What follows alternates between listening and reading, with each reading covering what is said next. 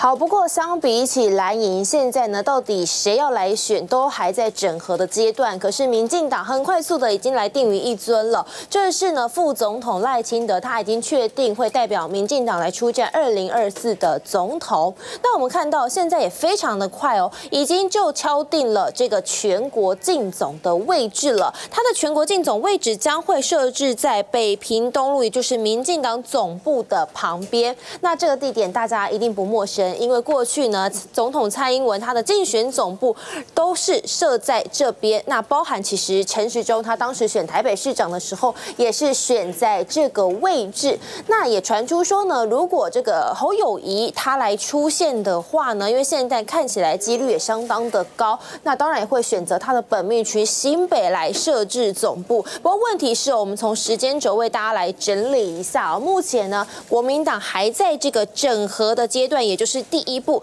那接下来呢还会经过可能要有这个征召之后呢，会来提名，那再来呢才有是是成立竞走，或者是呢到二零二四看能不能胜选。而目前呢，赖清德已经是先跑在前面，是已经要设立竞总了。那另外呢，是现在当然对民进党来说，也喊出说国会要单独的过半，尤其在新北桃园呢，也希望说可以靠着赖清德的声势取得不错。的成绩。